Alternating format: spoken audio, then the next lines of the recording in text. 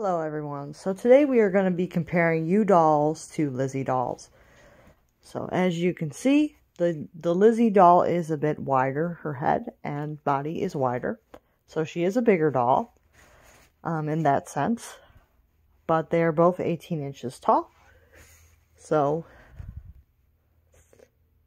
um, this one is harder vinyl.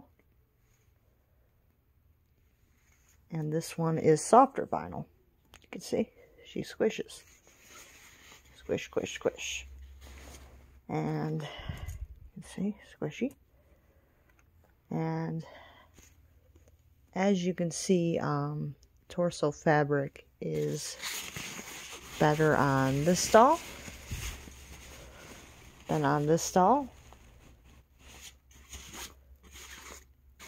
And as far as the eyes go, you can see that these dolls have like our generation type eyes, where the U doll has better quality eyes, like more like the American Girl. And very soft wigged hair on the U doll. And the Lissi doll has rooted hair. See, her hair is rooted to her head.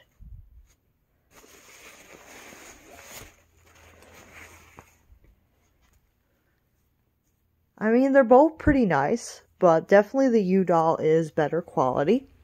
She will last 30 years, and she will be a very good companion for you. Where the Lissi doll is cute, I can't guarantee that she will last as long.